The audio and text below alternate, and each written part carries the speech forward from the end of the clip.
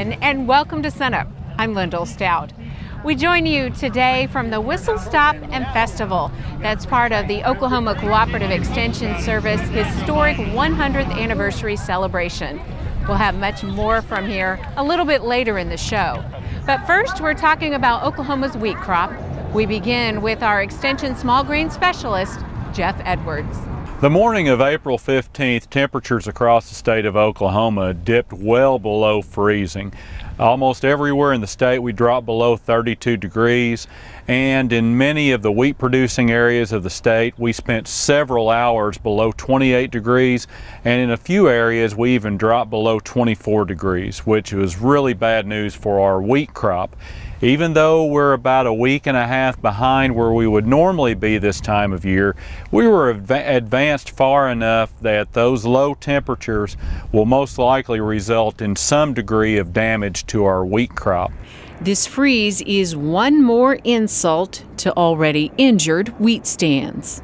We were already in pretty rough shape in terms of wheat production in the state of Oklahoma. Southwestern Oklahoma and western Oklahoma, a lot of that crop has already been written off due to drought. And we're really uh, pretty much too far along to be able to save that crop at this stage of the game. As we move into central Oklahoma, we still have some yield potential there. It's been reduced because of the drought. Plants are starting to turn blue. They're turning out, running out of water. But if we still receive some moisture here in mid-April, we can still uh, produce an average crop in central Oklahoma. Not only is wheat turning blue, in some areas there are reports of yellowing wheat.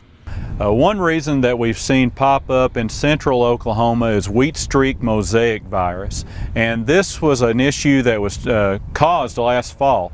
It's a virus that is transmitted to wheat via the wheat curl mite, and we've had this issue in western Oklahoma for several years, but only in the past couple of years has it really crept into central Oklahoma.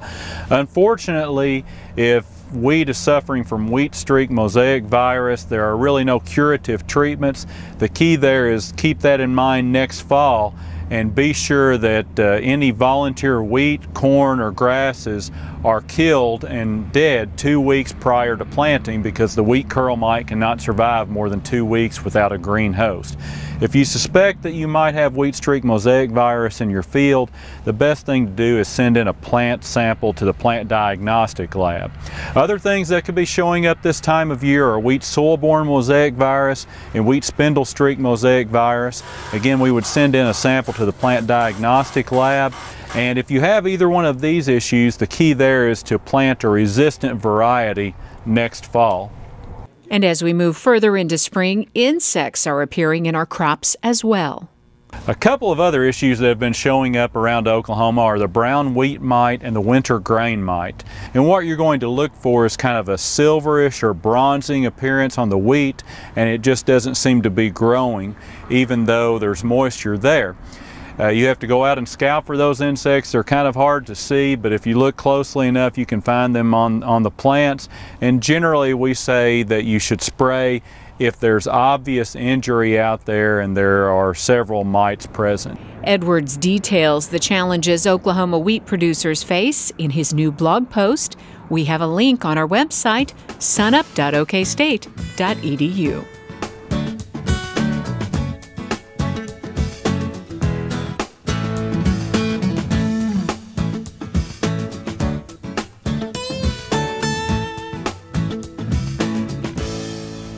Joining us now is Brian Arnall, our Extension Nutrient Management Specialist. And Brian, not all yellow wheat that we're seeing is, is because of disease problems. No, there's definitely some wheat out there that has some nitrogen deficiencies. As we go across the state, as I drive, I'm seeing spots develop up where, where the wheats had some moisture and are starting to grow, and we are, we are seeing nitrogen deficiencies. Uh, a lot of that time it can be identified uh, either through the, the geographic area of it or topography. Maybe it's on the top of a ridge where the nitrogen might have moved down with moisture or in an area, area that is low lying, has had water standing on it for a while on the backside of terraces.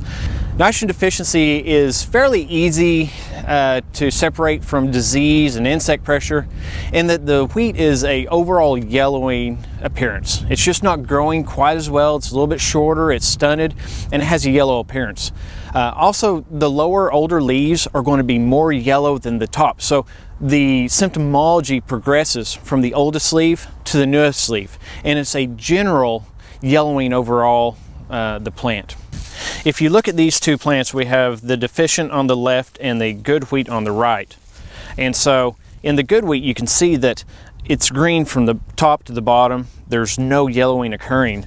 But if we bring in this nutrient deficient or the nitrogen deficient wheat, you see that the oldest lower leaves have a much more yellow appearance and you have a general yellow appearance that goes throughout the entire plant. But it is much worse at the bottom. If you go to the very top leaf, in this case you see that it's this uh, top leaf right here, it's actually fairly green looking. It's not quite as yellow as the rest. So remember, nitrogen starts at the oldest leaf and works its way up to the newest leaf. Now, what are some other potential problems that we could be seeing in wheat this time of year? One of the things that you could be looking for, a little too late to do anything about, but you can identify for next year, would be our other primary nutrients, phosphorus and potassium. So phosphorus, what you'd be looking for is that purpling, uh, a dark purpling, and again on the lower part of the leaves. Phosphorus, nitrogen, potassium, and magnesium all develop on the oldest leaf first and then newer leaves later. All of our other nutrients develop at the top of the plant and work its way down. So phosphorus is a purple color, the lower part of the plant. Potassium, a little bit more challenging to separate out from nitrogen because it is a yellowing on the older leaves and it's a general yellowing on the older leaves. What you have to look for potassium would be indications of where you're growing in. It would show up in a sandy soil, a deep soil. Um, we don't have many potassium deficiencies in Oklahoma, but we could have some. So look at the plant and look at the soils. And of course, uh, by all means, take a soil sample to confirm. And in terms of management, once you get your samples and you get some sort of confirmation, what can we do at this stage? At this stage for the wheat crop, the closer we get to flag leaf for nitrogen, the further away we get from making any improvements.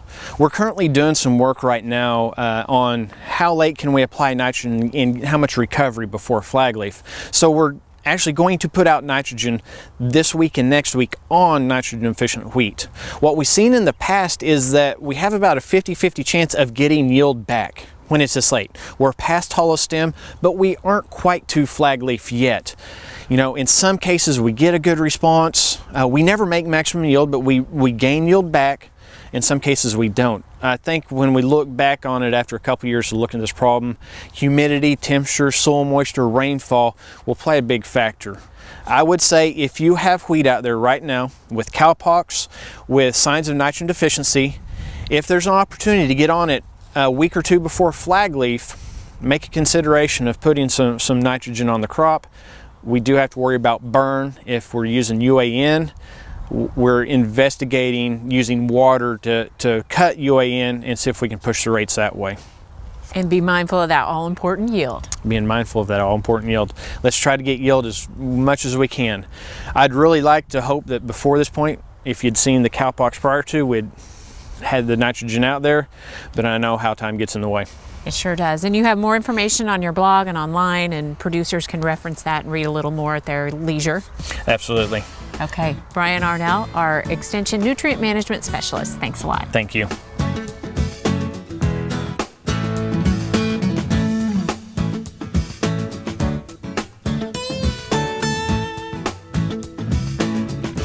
Hi, I'm Al Sutherland with your Mesonet Weather Report. Tuesday morning was a cold shock across Oklahoma. That morning, April 15th, only three mesonet sites came in with lows above freezing Medicine Park, Fairview, and Tulsa. The coldest site in the state was Chickasha at 21 degrees. 44 mesonet sites fell to 25 degrees or colder, while 70 mesonet sites came in at 27 degrees or colder. An overnight low of 27 or lower is considered a hard freeze rather than a frost. The hours below freezing were significant. 101 mesonet sites experienced four or more hours below freezing. 16 sites were below freezing for 10 or more hours. It will take some time to see how much damage there was to crop and landscape plants in the colder areas. A map of rainfall from January 1st to April 15th shows how little rain Oklahoma has received so far this calendar year. The red areas have had less than 20% of their normal rainfall. The bright orange areas have seen 40% or less. Areas colored dull orange have had 60% or less. The yellow areas 80% or less. With all of the wind and low rainfall, we are seeing a good number of days with high fire danger as measured by the Mesonet OK Fire Burning Index. The spot in the state with the highest index values this spring has been Medicine Park in Comanche County. Over the 30 days from mid March through April 15th, 18 days have had a peak burning index of 80 or more. Eight days have been at 100 or more. The highest day hit 128 on the burning index scale. That was last Sunday, April 13th. The burning index value provides an estimate of flame height. Dividing the burning index value by 10 is what firefighters can expect the flame height to be at the head of the fire.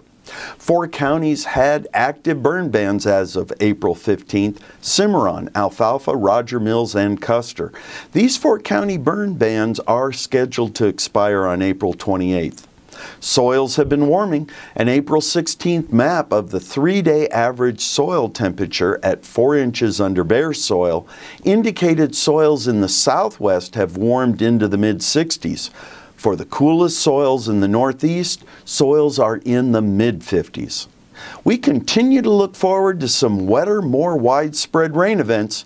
Maybe you'll be one of those fortunate enough to get a good rain before our next report. Thanks for joining us for this edition of the Mesonet Weather Report. We've heard from the wheat guys and we've heard from the weather guys about this last week and, and how it could affect the wheat crop. Well, Kim, let's talk about how that could affect the markets. Well, the markets are volatile, as we've talked about. Uh, you look at the July contract of which the old crop bids off of and the new crop bid. February the 3rd, we had $6 on that uh, July contract.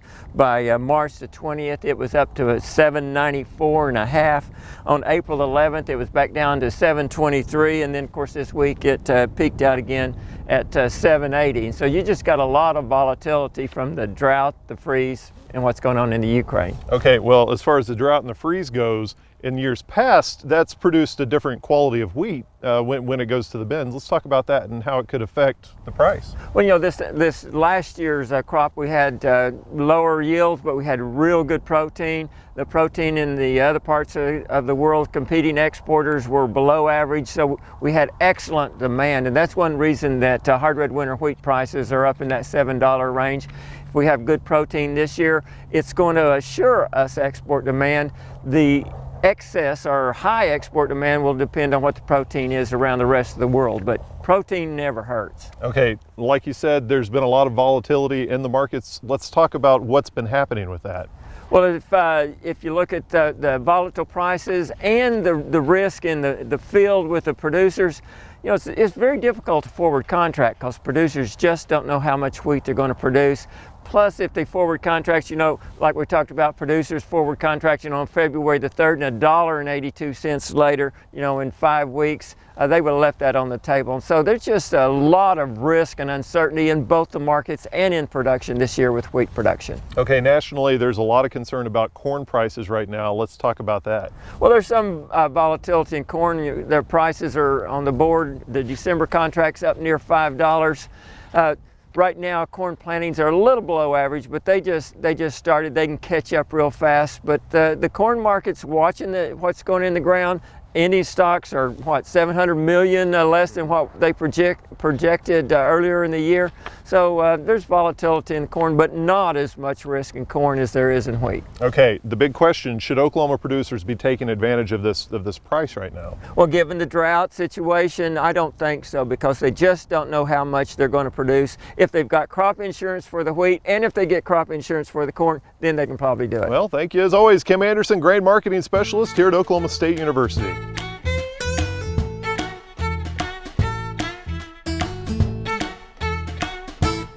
As we're wrapping up this spring calving season, this is an excellent time to look over the, the cow herd. Since they're at the peak of lactation, we can identify which cows might have some problems, have some unsound udders that we'd want to mark down in our herd book so that we can cull those cows next fall. I think a lot of ranchers would be surprised if they knew the percentage of beef cows that carry the organisms for mastitis. And, and that, of course, is the situation that dairymen are all too familiar with, where there's an infection in one or more quarters. In beef cows, of course, those go untreated, and the quarters may become dry quarters. Uh, research tells us that uh, if a cow has one or more dry quarter, that the weaning weights of the calves may be down as much as 50 to 60 pounds, which in today's calf market is really substantial.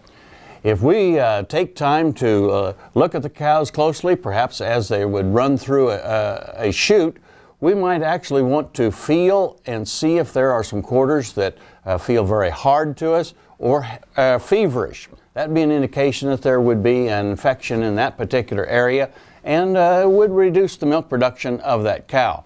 The other things that we would look for are those situations where the udder of the cow, perhaps due to age, is breaking down over time. We may have a loosening or weakening of the suspensory ligament that holds up the udder, or in addition, some of the very large cone-shaped uh, teats that make it difficult for that baby calf when it's first born to locate that teat, get his mouth around it, and start to nurse. We know that all of that can affect the uh, early calf health because it will slow that calf's ability to get the colostrum that it needs in a very short period of time. So we would like to get those cows culled out of our herd and not receive replacement heifers from them because there is a genetic component to udder soundness. I think we can over time make some real improvements in udder soundness in any beef cow herd by watching for these particular problems, select against them, and then as time goes on, we'll have a, a herd with more sound udders, less problems, and heavier calves at weaning time. Hey, we look forward to visiting with you again next week on Sunup's Cow Calf Corner. Joining us once again, Derrell Peel, our livestock marketing specialist. Derrell, last time you were here, we were talking about prices. They were just up, up, and up, and, and just kind of seemed to keep going that way.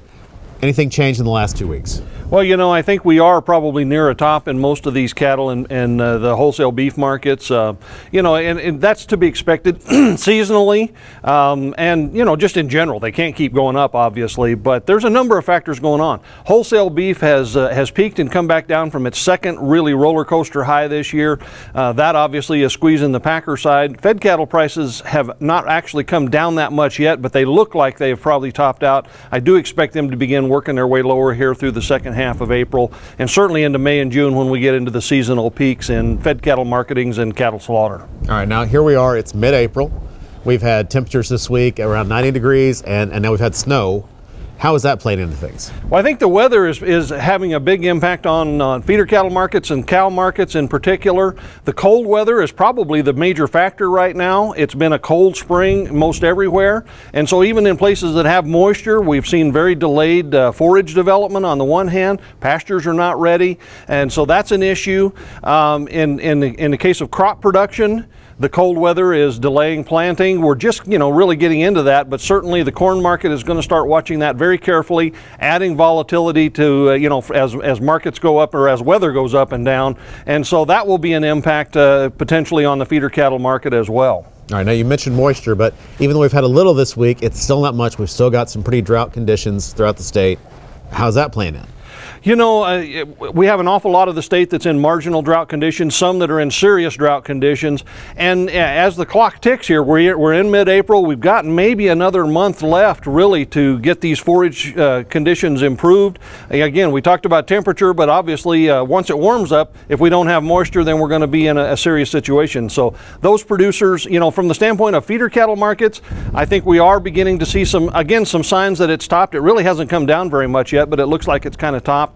These cull cow markets uh, actually came back down a little bit. Uh, they've peaked at a you know very high record level this spring, but they've come back down a little bit this spring. And, and again, we could be back into some uh, increased uh, beef cow culling here in the next month if we don't see some improvement in forage conditions. All right, plenty to keep an eye on. Derrell Peel, livestock marketing specialist here at Oklahoma State.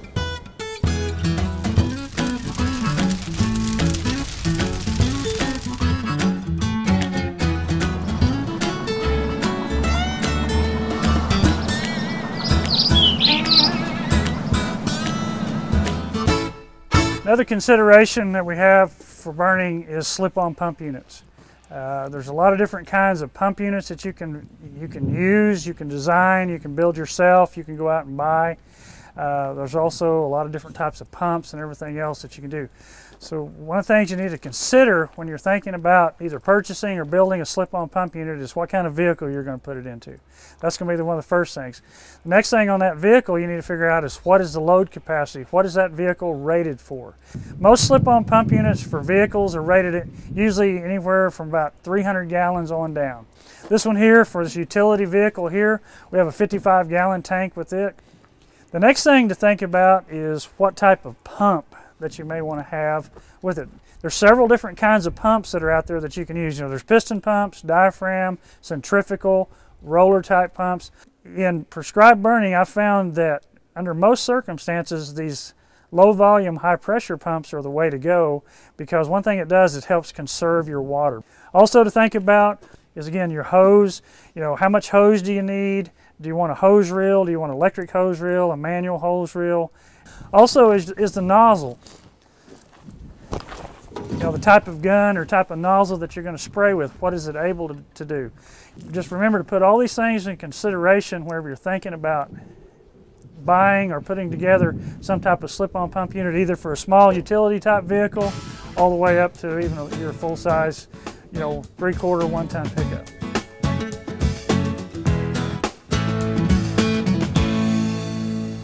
Now back to the Whistle Stop and Festival. In the early days of extension, agriculture agents traveled by train in order to get important information out to producers and farm families.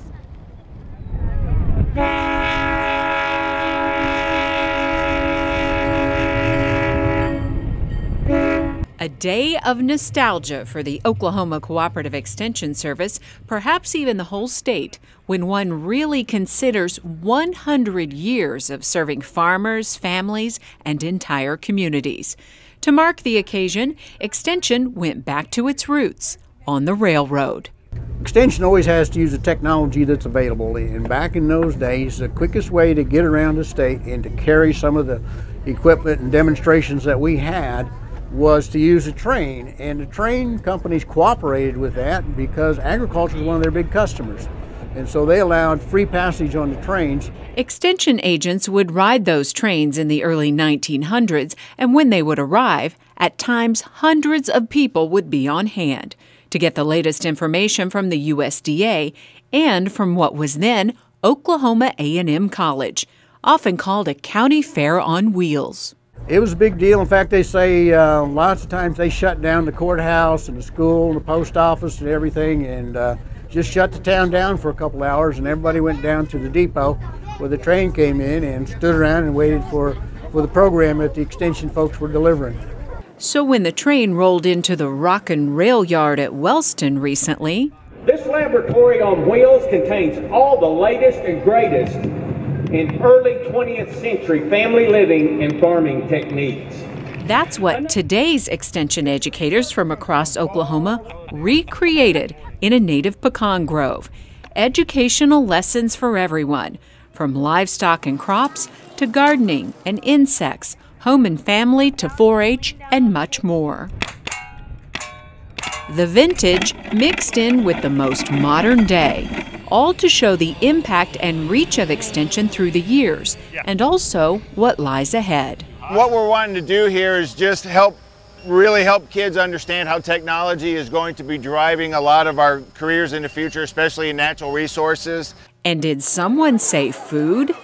Molten lava chocolate cake and uh, deluxe potatoes with a crispy topping that are like twice baked potatoes. They're just yummy. Dutch oven cooking, just like the early days. They last forever. They're seasoned like Teflon if you take care of them, and they hold the heat a long time. And Martha Washington even will, mentioned them in her will and specified who hers went to. So they've been uh, valued by people who cook in the outdoors, particularly for a long time. Really a revitalization of people liking to learn this skill. And we're teaching a lot of kids to do this now with the outdoor 4-H projects. Speaking of the younger set, they're especially fascinated with the older ways. 12 year old Hannah Thompson sums it up best. I'm going to tell my friends that I really had a fun day. It was really awesome. Just looking back at the past and seeing from the old days and seeing to the future that I might teach my grandkids. And if the past century is an indicator, Cooperative Extension will be right there with Hannah and her friends, teaching extending knowledge, and changing lives well into the future. That'll do it for us this week. Remember, you can find us anytime at sunup.okstate.edu. You can also follow us on YouTube and other social media. From the historic Whistle Stop and Festival celebrating 100 years of cooperative extension, I'm Lyndall Stout, and we'll see you next time at Sunup.